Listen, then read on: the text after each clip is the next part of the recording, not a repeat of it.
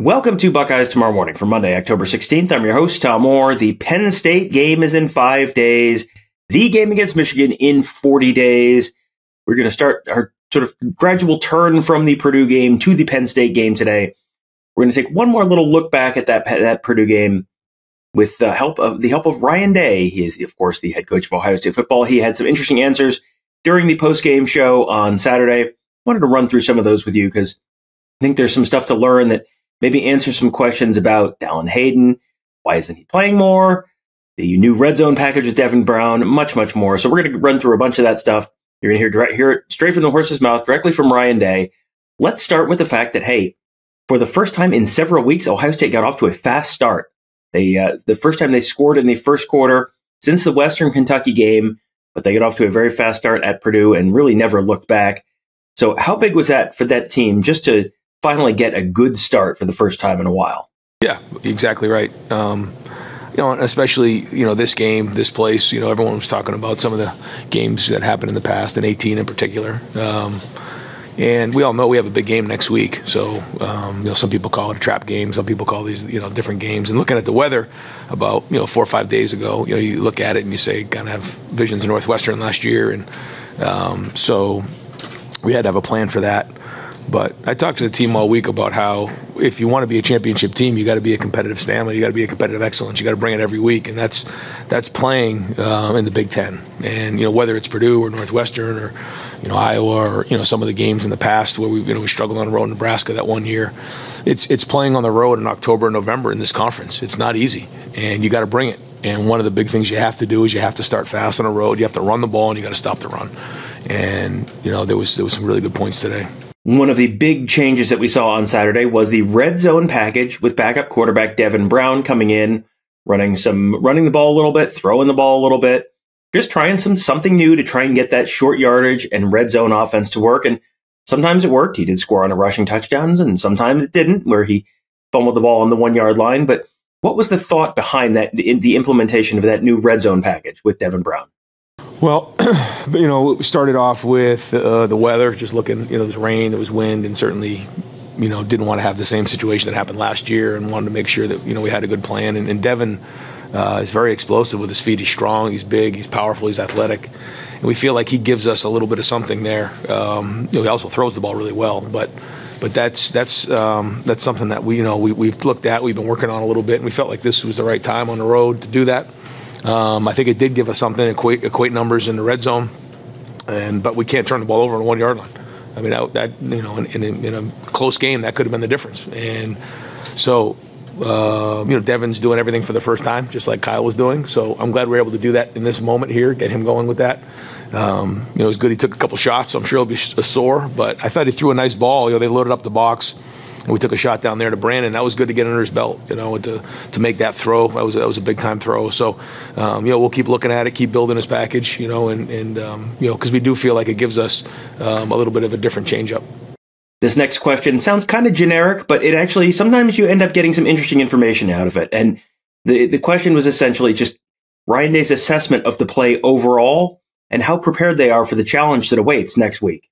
Yeah, so uh, I thought the first half, um, you know, overall, you know, we came out strong. Certainly, the fumble was um, something that you know we got, wish we had back. Um, and then the defense, man, the, goes, the ball goes down the two yard line. Just keep fighting, just keep playing, or the one yard line. Yeah, so um, great job. And then then they get the penalty, and then we hang in there, and they miss the field goal. It was like wow.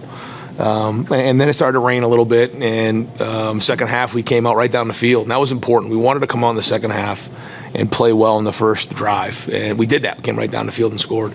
And there was then there was a, a kind of a point in there where you know uh, we just kind of you know flopped around a little bit. You know I don't know if we took the foot off the accelerator a little bit, but um, certainly don't want to do that. Um, but we have played in, in, four quarter games this year, so I, I, you know, I don't think that's an issue. You know, there's been some times where or one time, you know, uh, our, our, starters hadn't been in four quarters, you know, halfway through the season. That's not the case in this situation. So, um, yeah, we just got to keep pushing and keep growing. But um, I feel much better about the way that we ran the ball, although you know we were down three running backs in the game. So that certainly did play, um, you know, a factor in all this. You know, and then, we, then Evan went in the game.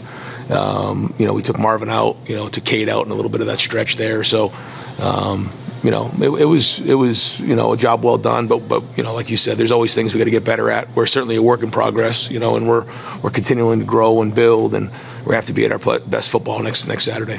The next question for Ryan Day was about the Ohio State defense and how they played, and the short answer on that is pretty darn well. But Ryan Day also took the opportunity to talk about Purdue's defense under new head coach Ryan Walters a little bit as well. So here's an answer. Here's both of those answers together.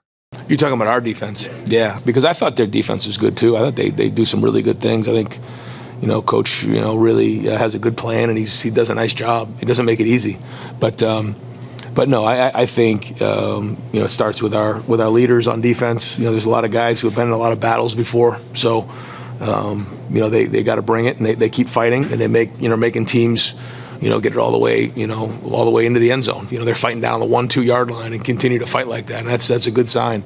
Um, I know Coach Knowles and the, and the co- defensive coaches are going to see things they want to get better at and, and keep growing because they know the challenges are going to get bigger and bigger. So um, the issues are there. They're, they're, you know, they have to be addressed on both sides of the ball, all three phases, and we got to keep doing that. So um, we know we're near where we need to be, but but that's that's part of growing. You know, you want to be playing your best football at the end of the season. You find a way to go one and zero on Saturday night, and and that's the goal. So. Uh, we know we got a big challenge ahead of us, and the preparation starts now. All season long, going back into the spring and the summer, and of course the first uh, half or so of the regular season, the offensive line has been one of, if not the biggest question marks for this year's Ohio State team. But Saturday against, against Purdue, they were able to run the ball well, even when it seemed like Purdue was looking for it and even sort of stacking the box against it. So, how encouraging was that for Ryan Day to see the offensive line kind of moving people off the ball? Well, yeah, and, and when when you know you're down Trey, you're down Miyan, and, and Chip's your guy, and then all of a sudden you lose him in the game, it's like, okay, how are we going to run the ball here?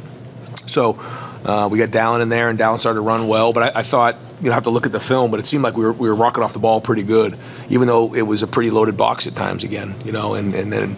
Um, then it started to rain, and you know we started to get that, and then, and then, there was like two extra guys. You know they were they were bringing the safety down real low, and so you know it forced us to kind of push the ball down the field on a couple throws, which which is fine. But um, but uh, yeah, and then and then Evan went in the game. Xavier took a couple handoffs too, coming out of the you know as a receiver that can give us a little something but we certainly didn't have you know three of our running backs, and that makes a big difference. So to be able to run the way we did without having three of our guys was a good sign. So you know we really we got to get healthy this week. In the middle of last week, Ryan Day talked about the fact that their plan for Dallan Hayden was to redshirt him and just have him play in the four games he's allowed to and maintain that year of eligibility and just use him if they needed to. Needed to. Well, you got to Saturday. You had no TreVeyon Henderson. You had no Miyan Williams. Then Chip Trayanum went down. Well, then they needed to use him. So Dallan Hayden has used one of his games of eligibility now, and he used it quite well, quite efficiently. 11 carries, 76 yards, a touchdown. What does Dallan Hayden bring to the offense, even when he's just coming in kind of cold right off the bench? Yeah, I think he's got really good feet. I think he, um, when, when the ball's in his hands, that's when he's at his best. And, and um, you know, he's got good vision, good quickness. And, um, but, but I think to your point, it shows his mental preparation because he hasn't played a bunch this year. And, um, and so be able to go do that is, um, you know, says a lot about his preparation. And, you know, the, the things that we did today are things that, you know, are day one installation kind of plays. We had the stretch play going, we had the counter play going, and a few other things, a couple tosses, but um, but but he, he put it on the field. He took care of the ball. That's the number one thing. Um, certain some things in protection that you know we need to get better at, but um, but but ran the ball hard, and it was good to see him step up in this moment on the road. Now, that part there at the end where he talked about having to work on protection, that's notable. That actually kind of answers a question a lot of people have been asking. Why isn't Dallan Hayden, play, Hayden playing more? It seems like he handles the carrying the ball portion of the running back job just fine. Sounds like, you know, that, that is the coaching speak way of saying, well, a little concerned about how he handles blitz pickup. And if you can't hand, trust him to handle blitz pickup at the level they need him to, that is something that might limit the number of carries and number of opportunities he gets. So they didn't quite come out and say it, but you could sort of read between the lines there that that might be the issue kind of holding him back a little bit. But even with that being said, how does Dallan Hayden's play on Saturday change how Ryan Day looks at what Dallan might be able to bring to this year's team?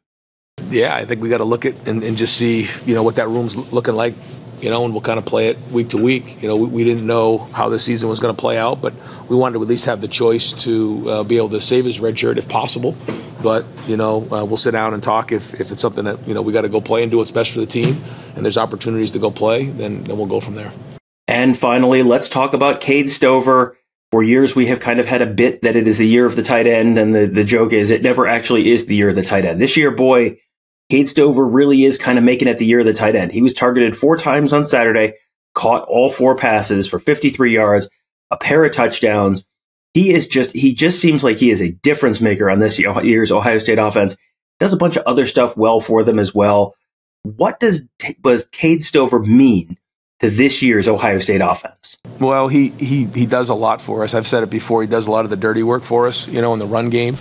And then that creates play action passes. And, um, but the, the, catch he had in the one-on-one situation on, uh, well, I don't know if it was a third down or a second and long, was a heck of a throw and catch. Um, then he did a nice job, you know, kind of, you know, snatching the ball quickly on the touchdown pass. The ball was kind of thrown a little bit outside of his frame, and he snatched it hard with his hands. And then, and then the last one, that was a play action off of a counter play that, um, you know, when, when you're running hard and, and, the defense is showing up on the line of scrimmage, you know, you, you can get open down the field um, if, if you're blocking inside and doing all the dirty work. And that, that's really him. Um, you know, he's a great captain, and um, you know, he's a weapon for us both in the run game and in the pass game. With the Purdue game in the rearview mirror and the Buckeyes now 6 0, they are heading into one of the biggest games on the entire college football schedule this weekend at home, noon against Penn State. This is not just one of the biggest games on the Ohio State schedule. It's not just one of the biggest games on the Big Ten schedule. This is one of the biggest games in college football this year, period, full stop. It should be a dynamite game. Buckeyes and Nittany Lions, both unbeaten, both looking to sort of give themselves a leg up in the race for the Big Ten East title and the Big Ten, Big Ten potential championship. And then, of course, the college football playoff as well. A lot on the line this weekend a lot of interesting storylines that we'll be breaking down all week long at BuckeyeHuddle.com. So make sure you join us there. Have our team of insiders covering the team and recruiting, X's and O's, all that good stuff. Plus a real fun community on our huddle board at BuckeyeHuddle.com. So join us there. And if you are not subscribed to uh, our YouTube channel at youtube.com slash BuckeyeHuddle, this would be a great time to do it. We have a lot of stuff coming this week. Going to be a very busy week in Columbus as we look ahead to uh, the Buckeyes and Nittany Lions coming up on Saturday. And of course, we'll have our usual post game coverage afterwards as well. Should be a lot of fun stuff this weekend. Should be a really exciting game. I am very much looking forward to it. I'm guessing you are too. So thank you guys all for joining us. Have a great day. We'll talk to you tomorrow.